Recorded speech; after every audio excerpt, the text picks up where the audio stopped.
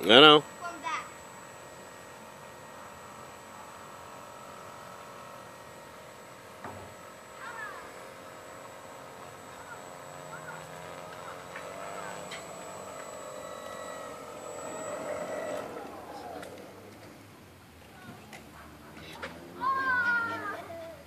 And then move it or it will go into the cup.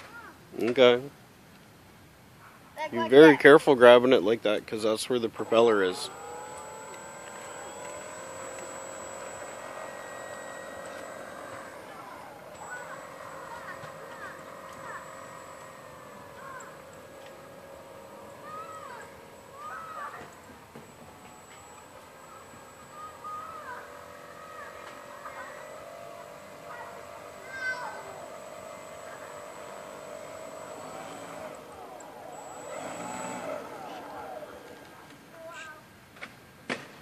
You have to give it some throttle and turn at the same time.